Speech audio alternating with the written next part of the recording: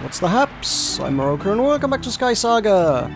Today, Radiant Worlds have put out an update for the game, the Alpha 4.5 update, which is mostly a bunch of balance changes and tweaks, but we're going to go through and have a look at them. So we're in the social hub because that's where a lot of the things you're going to find are going to have changed. So let's go have a look at that. Most of the vendors around here have all been rearranged for reasons I can't quite fathom. Uh, the the guy that used to be the what was it the keystone vendor was in there is now food because I guess it looks kind of like a kitchen. And the keystone vendor now finds himself over here. You'll notice that the prices are a little different. That is part of the balancing. A lot of the costs have been reduced on everything across the board as well as everything's just I think a little bit more visually clear. Keystones were often pretty a lot of the colours were very faint on them, it's very hard to distinguish quite what exactly you were getting yourself into, so I think everything's a lot more visually obvious now. Uh, from everything I've seen so far, when you when you look at a keystone, it's usually it's fairly clear what you're getting yourself into. So you look at that, it does has a very bright green, it's a very bright white, it's a very bright yellow. It's kind of it's kind of more obvious now, and the costs are way down. I think some of the hard hard levels before would have been like five thousand knots, they're down to three thousand five hundred. So it's a little bit cheaper to buy those. Everything else is cheaper still. What do we got over here? We have got someone selling those materials. Those prices are down a little bit, I guess. Rose iron was 2,000, I think. I think broadly speaking across the board a lot of things are down by a little over half of what they used to be. So uh, for example Temple is, I know that was a deed I had been looking at purchasing for myself because I've got a bit of a temple as my home island. So I, I'd been contemplating buying it but I think it was it was good 35,000 I think was the price on it which I was kind of umming and ahhing about because that's, that's a good chunk of cash. Now it's only 15,750 so it's less than half what it used to be which is quite nice. Um, I'm a little more tempted to buy that now and you know the money I've got, you know, will go will go a lot further in this marketplace than it would have done under the old marketplace. Uh, this guy used to be around the corner, now seems to be here selling what appears to be very similar recipes, but if you recall, like some of the most basic recipes started out at about 15,000 knots and went all the way up to like 50,000 knots. Now, some of the more exotic stuff like a gong is only 18,000, whereas your really basic stuff, your common things, animal skull on post is 6,750. That's not terribly hard to achieve at all, those are pretty okay. So these balance changes should mean that you should be able to access recipes and things and start making your places look awesome a lot more, a lot quicker. Uh, additionally, XP has been improved across the board. If I bring up uh, the quests interface, uh, I've jumped a whole bunch of Explorer ranks just because, quite frankly, they've reduced the costs for leveling up in rank. Previously, once you got beyond like level 10, suddenly the costs for the XP costs for leveling up just became like crazy, and the level I was I was at level I was at level 16 and I was 80,000 XP into the next level before leveling up and with this update rolling in out it reduced the cost of leveling from 16 to 17 but down to about 22,000 so I gained like 3 explorer ranks in one go which was kind of nice to be honest uh, so there you go yeah now getting from level 19 to 20 is only 30,000 XP that is not terribly hard to achieve at all with quests and whatnot. So that's a much needed balance, something I've been kind of whinging about for a few weeks now.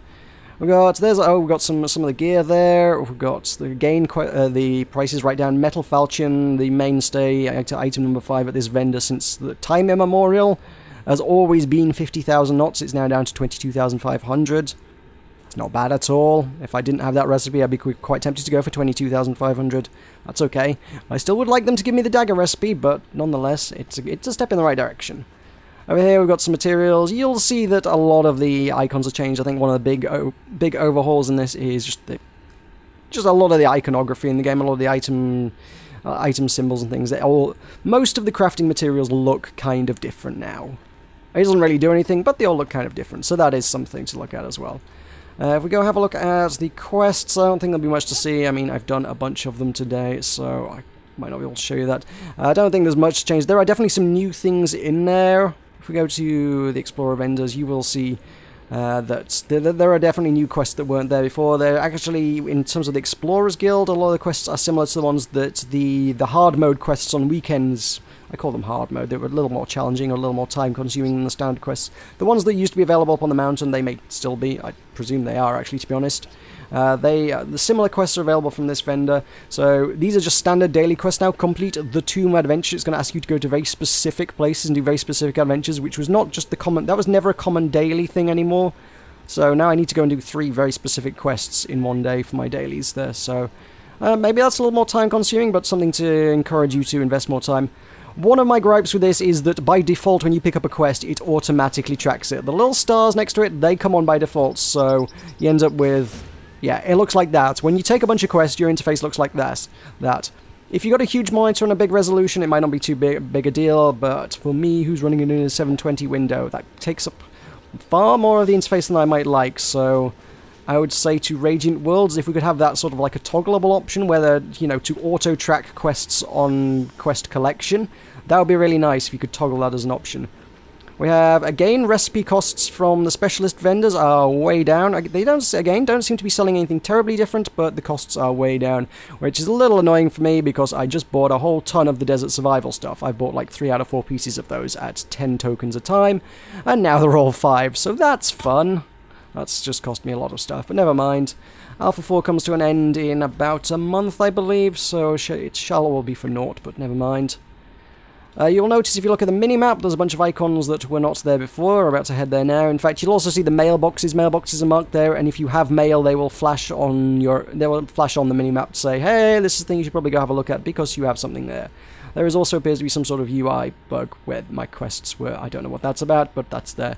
So yeah, PvP has been uh, restored in Alpha. PvP was in Alpha 3, but it had a lot of netcode issues. If you go back and look at my PvP video, it was really difficult to play. And it's back. I have already recorded a video. You will be seeing that very shortly on my channel. Uh, and I can tell you that it works a lot better, and obviously with with with PvP being in the game, all the relevant PvP affiliations are here. We have a vendor which will sell us some recipes. I imagine, actually, to be fair, if I'm going to get a dagger recipe, this might well be where I will get a dagger recipe from, and I'm hoping it's going to cost me less than 5 tokens, quite frankly. I think when things like scimitars are 5, I can hope that the daggers are probably going to be about 5 as well, to be honest. And then we've got some really fancy stuff like the metal warhammers for 12, which are pretty cool. So I imagine, I, I, I do think that's probably going to be where a lot of the weapons are going to be collected, to be honest. Uh, PvP has stopped for the evening, so I'm not going to be able to do much here. If I go up to the arena gate, it is unavailable. That is unfortunate, because I would have liked to have played a lot more of that this evening. The session was not as long as I would have wanted it to be, but uh, obviously this is alpha. I think they're still working out a lot of kinks. I think this is still just sort of testing to make sure PvP is functional, and I can confirm that it kind of is. So we've got some PvP quests. They uh, they now take up more space in your quest tracker, and I can't help but feel with three quest givers giving you daily quests, I rather feel that, to be honest, we really need more quest log space just to deal with the fact that there are now 15 daily quests and only 10 quest slots. But also some of these are totally not working because I have completed a PvP match and it has not done that. I have completed a capture the flag match because that was the only game type. It has not checked these quests off that ma the match I did should have counted for both those quests, I would have said, and it totally didn't, so... PvP quests kinda bugged, unfortunately, which is going to make it a little harder than you might like to get the XP that you want in order to buy the very cool Gladiator gear. But never mind. There have been a number of tweaks to this area, I will say, because um, I don't recall being able to get back to the bridge at the start from this ship, but the ship, the ship's nose, the prow, is a lot longer. Don't know what that's about, but there you go. I guess it's a quick way to get back to here. Also, there are a lot of uh, parkour kind of exploits that you can get to places where you're not supposed to get to. They took those away. They've taken away all my parkour exploits. I am unhappy about this. I like climbing on silly things. There was no reason for them to take away my climbing on silly things, but never mind. Uh, one last thing to look at is I think a lot of tooltips have been vastly improved, certainly as far as armor goes, those are the things I've mainly noticed. We've got, if you look at something like the Guardian's helmet, it's like heavy armor, gives high protection, but reduces your speed. If we look at Frost Steel, it's like great combat protection, but a little bit and a little bit of heat protection. If we look at Palace Guard, it's it's slight combat, no no impact on speed movement, so that's what that is. Your Desert Survival stuff is excellent heat protection and minimal combat. The wolfskin stuff has now become leather, that is great protection from the cold, but minimal combat, I guess you kind of knew that. And Warlock, I have wondered for the longest time what the heck Warlock armor actually did. Apparently it's, it's protection against both heat and cold, but doesn't provide any combat protection. So, in case you're wanting all-round elemental protection, Warlock is actually the way to go. Who'd have thunk it? There was no way to tell that before, but now we know, which is kind of cool. I like that. Oh, I will note, additionally, in terms of ores, it might be best to go back to my home to show you this, actually, to be honest. Uh, but there has been one, one new ore added to the game, and they've done something with a couple of the other ores. So it would be best to go back to my place and show you these things. Okay, back at mine, I'm going to go have a look at where I keep all my exotic stuff, the stuff that you get from bosses and whatnot, which is this top right chest up here. Normally, I keep a lot of marks, and things like Roots of the Mountain, they're all kept neatly in here. I keep all that stuff there to be turned into Abyssium and Crimsonite as, as and when I need those particular materials. Now, I don't, I'm not sure that those materials have been removed. I'm pretty sure they're probably still in the game, given that I still have stuff like my Abyssium helmet those materials are clearly still in the game, and I've had it heard it confirmed from another player that who had turned those into ores that they still have those ores. So those materials are still there, but the marks that you get them from, well, I've had mine all all mine deleted from my chest. So I'm guessing the marks of the desert and marks of the forest and marks of the mountain, those don't exist, as well as the red equivalents. In their place, when I did my daily adventures today, I found in the chest just before you go through the keystone portal to leave the adventure, I got one of these. A mark of bravery. Not got from the boss, got from the chest, which is unusual, because normally the marks got from the bosses themselves.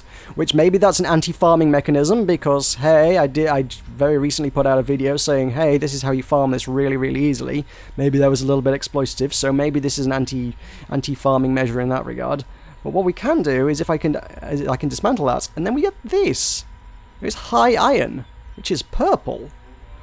I like purple. I'm going to have to start making things out of purple. I have no idea how that stacks up against other things. I don't know how... I imagine it's better than your standard materials. I have no idea how it would stack up against Abyssium or Crimsonite. And as of yet, I don't know if there is an equivalent to one of those in the hard mode adventures. As I say, I got that from the daily adventure, which would be considered to be a medium difficulty adventure. So I imagine there would be a hard mode equivalent, but right now, can't tell you. Go adventure, go find out for yourself. So that, that just about wrap, wraps up everything that I've found so far, I think it probably covers a lot of things in Alpha 4.5. Some very interesting changes, some very interesting stuff indeed, and I'm looking forward to more PvP because I do think it works a lot better now and it's a lot of fun.